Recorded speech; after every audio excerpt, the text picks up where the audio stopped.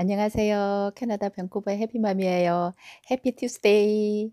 반갑습니다. 정말로. 제가요, 지금 굉장히 행복하고요. 기쁘고 신나고, 어, 막, 이거를 여러분들한테 빨리 전해주고 싶어갖고 하루 종일 참느라고 힘들었어요.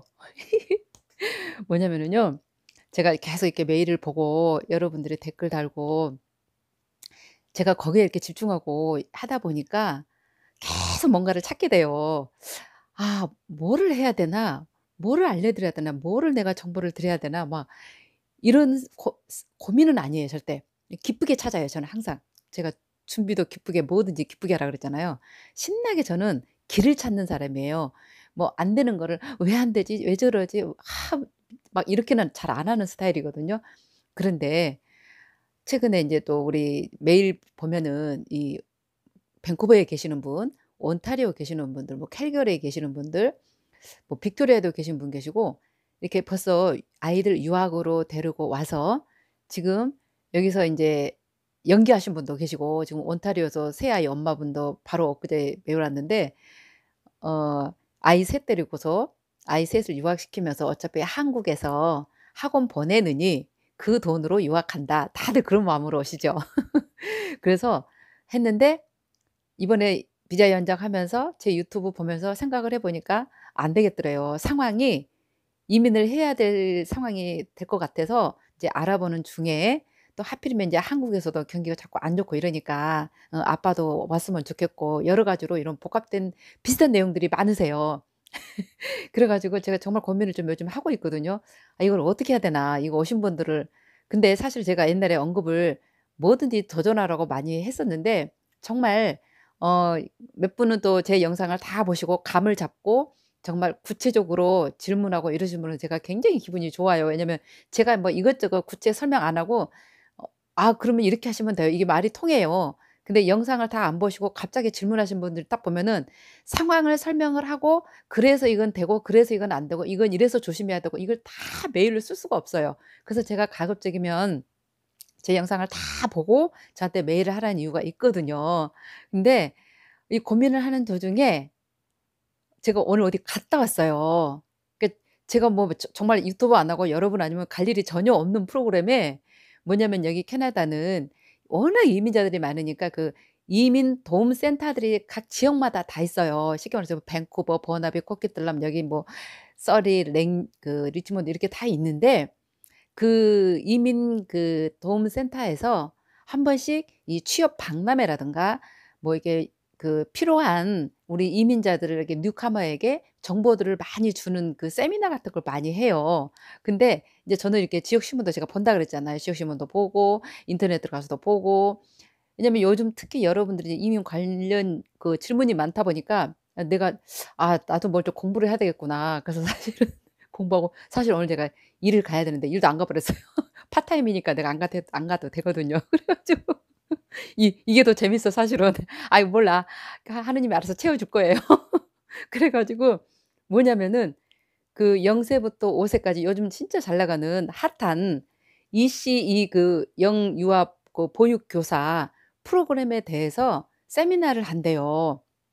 그래서 뭐 저 대충은 다 알죠. 그거 뭐 컬리지 가서 자격증을 따 갖고 음 그 취업이 좀 잘 된다. 그 정도까지였는데 제가 가만히 이렇게 생각하면서 2-3년 전부터 갑자기 뭐 그 ECE 그 한국에서 유치원 교사 자격증이 있는 분들은 여기서 transfer 해 가지고 바로 취업이 된다. 영주권 따기 쉽다. 그 얘기를 들었었거든요. 근데 뭐 내가 뭐 하던 게 관련이 없으니까 그냥 '아 그런가 보다. 요즘은 또 이렇게 뭐 유 유아교육 쪽으로도 이렇게 영주권을 따네.'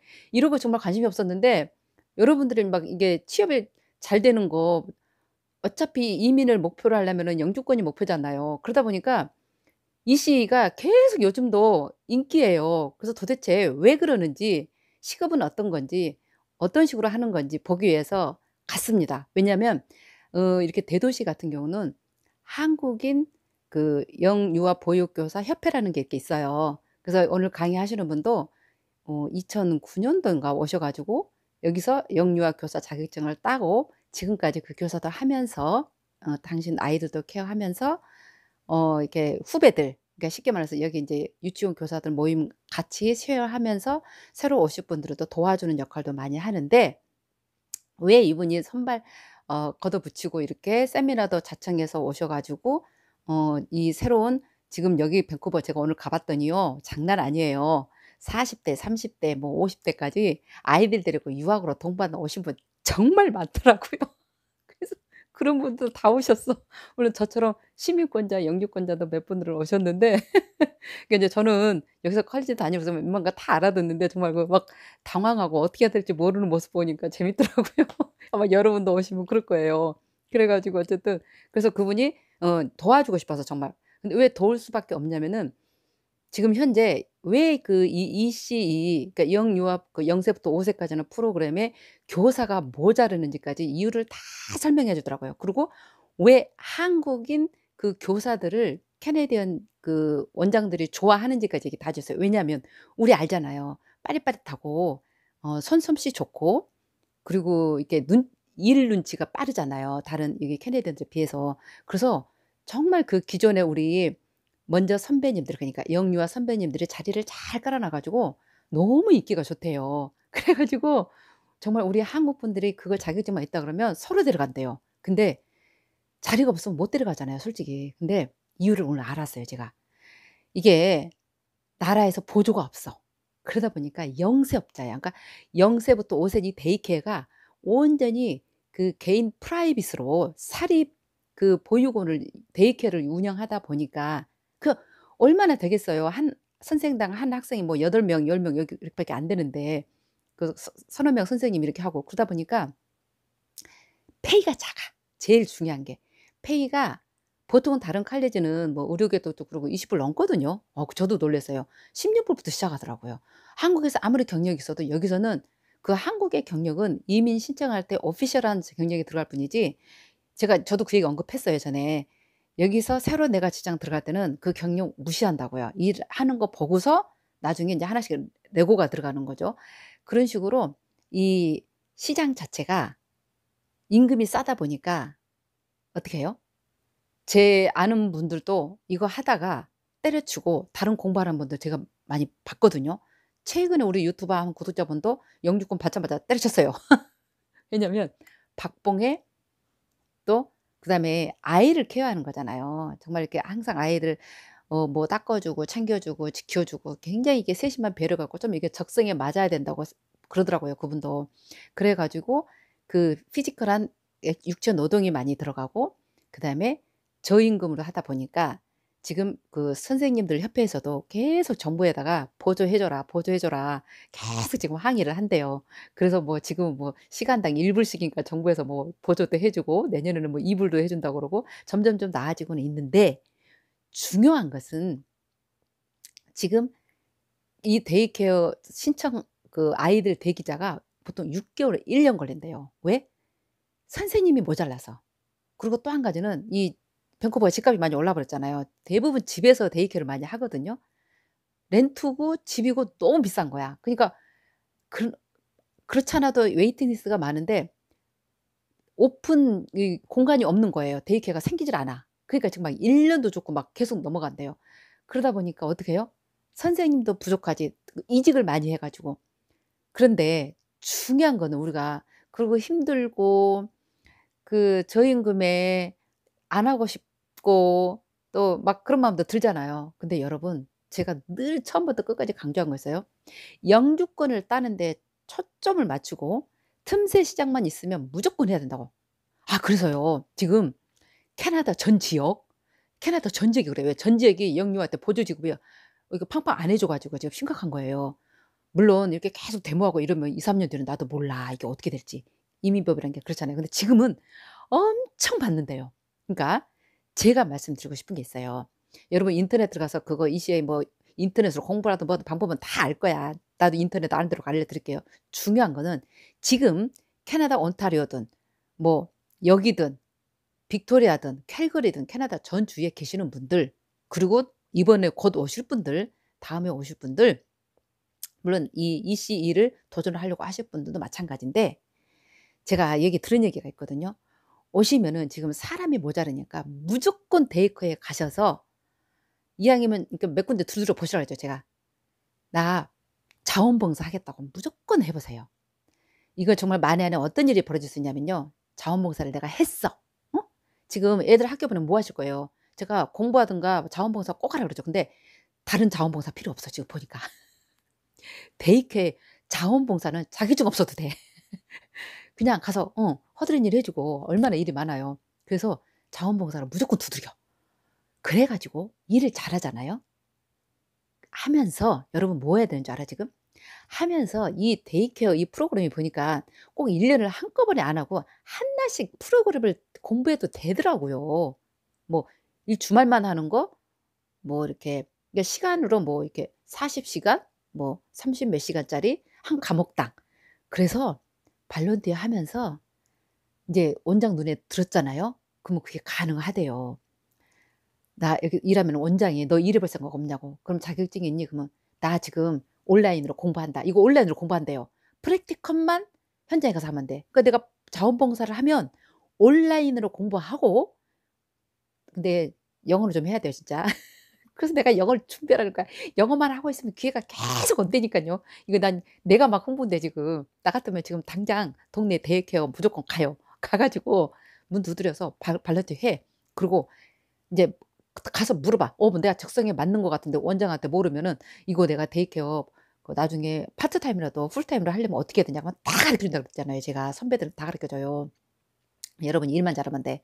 그리고 영어를 잘해 영어 그렇게까지는 못해도 아이들하고 말하는 영어는 기본적으로 그래서 내가 그 동화 비디오를 보라 그랬잖아요. 동화 그 사이트에서 인터넷 그 페리테일 전래 동화 뭐 고전 동화 무슨 동화 그게 쉽고 아이들 유아틱한 언어를 빨리 익혀야 된다니깐요. 그게 기본이야. 그래서 문을 놓고 해서 해 가지고 한 과목씩 온라인으로 듣는 거야. 무조건 다 들으면 돼요. 그10 과목인가 되는 것 같아요.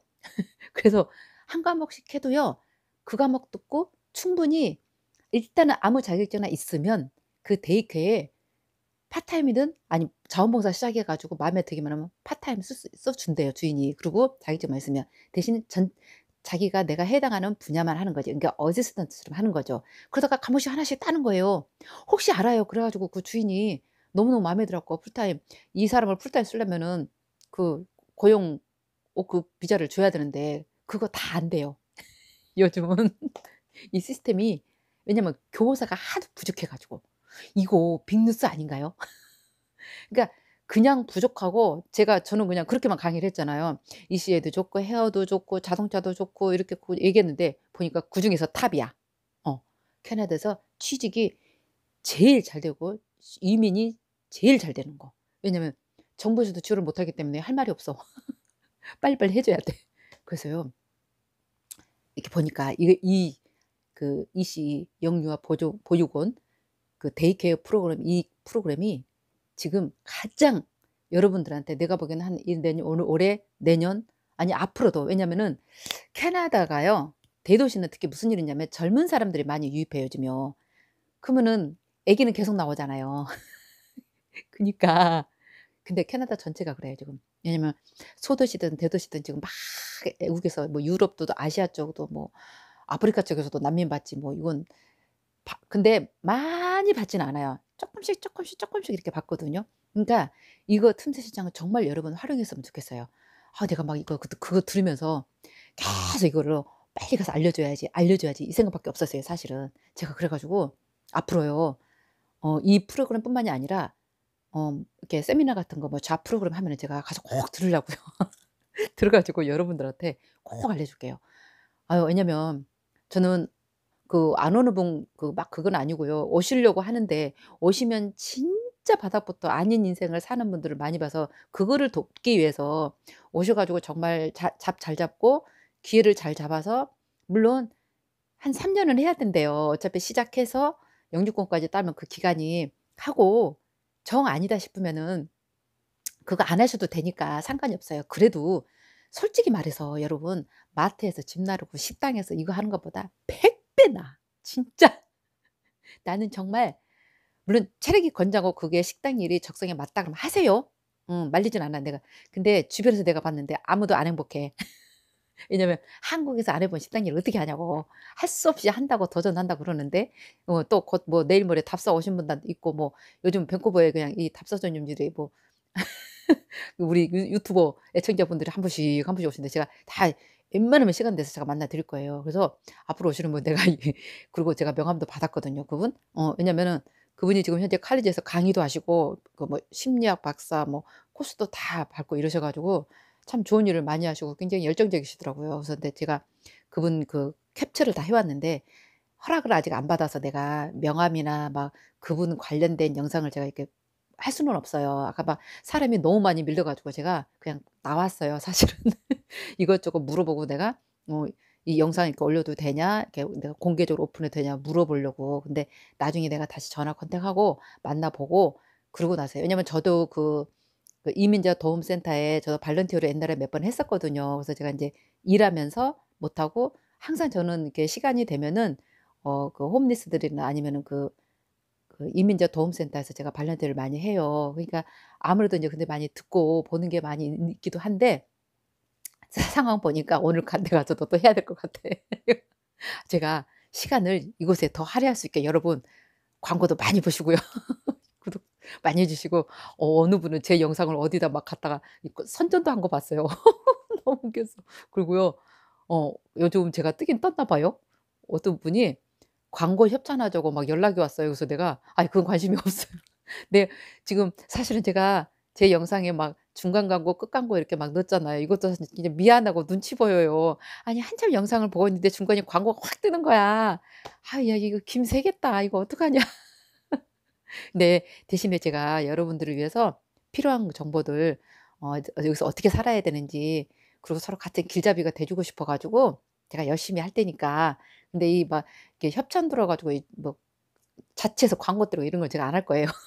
취미도 없고 하고 싶지도 않고 그런 거는 해서도 안 되고 그냥 뭐 자막으로 살짝살짝 나가는 거는 우리 구독자님들과 제가 소통할 때 이상이 없으니까 그나마 쪼끔 어 그리고 너무너무 감사드리고 그래서 여러분들 어 이씨 이거 정말 꼭 어 왜냐면 이제 취업이 진짜 잘 되고 어 이민도 이상 없이 잘 진행되고 그리고 여기 선배들이 많이 도와준다 그러고 그리고 아직은 정부에서 적극적인 지원을 데이케어에 하지를 않기 때문에 계속 당분간은 인력이 딸릴 거래요. 그러니까 여러 가지로 지금 이민을 생각하고 계신 분들한테 굉장히 지금 큰 기회입니다. 사실 보니까 뭐 젊은 분이든 어 이렇게 좀 아이 데리고 오신 분들이든 앞으로 오실 분들은 간에 왜냐면 일단은 영주권을 받고 봐야 돼요. 그게 없으면 정말 사는 게 사는 게 아니에요 외국에서는. 늘 불안하고 정말 영주권 받아도 그러는데 얼마나 그러겠어요. 그러니까 여러분들 어차피 오는 거 지금 그 어느 분은 그학 인제 한 1년 살아 보니까 너무 괜찮다서 지금 학생 비자를 연장을 신청했는데 어 인제 '어느 지역으로 갈까?' 이것도 고민하는데 여러분 지역은 나중이야. 지금 여기 캐나다에 계신 분들은 집 동네 우선 영어 못해도 괜찮아요. 여러분 용기 있는 사람이 기회가 생겨. 어? 기회는 용기가 있어야지 되는 거고 가서 안 되면 말더라도 일단은 노크를 하시라고. 여기까지 뭐 지역 옮길 생각하지 말고 지금 당장 그 사는 곳에서 daycare에 가셔서 volunteer 해 보시라고 하면서 준비해도 상관없어요. 그리고 거기서 칼리지 나와 가지고 만약에 이민 점수가 내가 모자라 그러면은 저기 소도시로 가도 돼 취업해서. 왜냐 소도시도 없어. daycare는 다 부족해. 그러니까 지금 일단 시도를 해 보면 아 상황을 알게 돼요. 상황을 알면 내가 뭐를 해야 될지 어디로 가야 될지 아 어떤 전략을 써야 될지 그게 딱 감이 오거든요. 여러분들이 아무것도 시작 안 하잖아요. 그러면 똑같아요. 어제가 오늘이고 내일이고. 지금 뭔가를 바로 시작해야 돼. 시작하면 은 돼요. 그리고 바로 서치하시고 그러니까 아직도 전공을 정하지 못하고 하신 분들은 정말 제가 오늘 갔다 왔잖아요. 시간 특별히 내 갖고 여러분을 위해서 이씨 이거 꼭 하세요. 그래 가지고 상 맞든 안 맞든 일단 하고 그 다음에 내가 원하는 거 꼭 하셔서 여러분들이 여기 캐나다에서 정말 정착하는데 도움되고 이민해서 정말 평화롭게 안정되게 정말 살 수 있도록 그게 제가 바람이니까요. 지금 용기를 내서 두드려 보시라는 거. 그리고 그 간호학과 나오신 분, 아동학과 나오신 분, 복지학과 나오신 분. 그러니까 이런 게 사이트에 다 있대요. 저는 아직까지 사이트 공부를 안 해봤는데 그 세 가지는 거기에 이제 사이트에 들어가서 이렇게 메일로 문의를 하면은 뭐 아동학과는 너는 뭘 한두 개뭐 추가하라 그런대요. 뭐 복지학과는 또 또 너는 뭐를 추가하고 간호학과는 너는 뭐를 추가해라. 뭐 두세 과목이 될 수도 있고 한 과목이 될 수도 있대요. 그래서 그 과목을 네가 추가로 들으면 그 ECE를 교환해 준답니다. 근데 그게 기간이 좀 오래 걸려요 보니까. 뭐 6 개월 왜냐면 서류가 한국에서 이렇게 오고 뭐 이게 빨리빨리 진행이 안 되잖아요. 그래서 이분도 권유하기를 저랑 똑같아요. 여기 현지에 있으면서 워크숍이라든가 college 한두 과목이라도 가서 들으면서 영어도 늘고 skill도 늘고 왜냐면 한국하고 여기하고 아이를 가르치는 그 체계가 약간씩 다르잖아요. 기본은 같겠지만. 그래서 그 영어 skill도 늘릴 겸 될 수 있으면은 한국에서 자격증 온전히 바꿀 수 있을지라도 그 기다리는 동안에 영어 공부 겸해서 어 칼리지 가서 한두 과목 이렇게 들으라고 그걸 권유를 하시더라고요. 그니까 그 사이트도 제가 최대한 알아서 올려 드릴 테니까 찾을 수 있으면 찾아서 이렇게 보시고 공부하시고 저도 계속 여러분들이 원하고 찾고 길을 이렇게 어느 분이 저보고 이제 내비게이션, 내비게이션 역할하고 선택은 여러분들이 다 하시고 저는 정말 이민 전문가는 아니에요. 여러분들이 살기 위한 방법을 알려주다 보니까 이민 정보를 드리는 겁니다. 참고하시고 저한테 "어느 지역을 선정하라. 어떻게 하라." 이렇게 구체적으로 물으면 제가 굉장히 난감합니다. 대신에 제가 제 영상들 보면은 지역부터 학교부터 모든 거 다 올려 드렸어요. 여러분들 제 영상만 잘 뒤지면은요. 정말 선택을 할 수 있는 길도 넓고 노하우도 알게 되고 쉽게 판단도 됩니다. 막연히 저한테 물으면은 제가 여러분을 잘 몰라요 사실은. 여러분은 제 영상 보면 저를 다 알 수 있지만 저는 여러분을 정말 몰라요. 그니까 그 영상을 보시고 그 느낌을 쓰면서 얘기를 하면은 제가 '아 이분이 어디까지 알고 있고 뭘 모르고 있고 아 이거를 건드려 주면 되겠다.' 이걸 제가 알거든요. 그니까 지금 요즘도 계속 메일 오는데 저는 메일 들으면서 사실은 행복해요. 아 이렇게 나를 못 믿고 이렇게 계속 해 주신다는 것 자체가 기쁘고 감사하고요. 계속 올려 주시면은 저도 또 업데이트 해 가지고 보내 드리겠습니다. 감사합니다. 사랑합니다. 행복하시고요. 또 뵙겠습니다.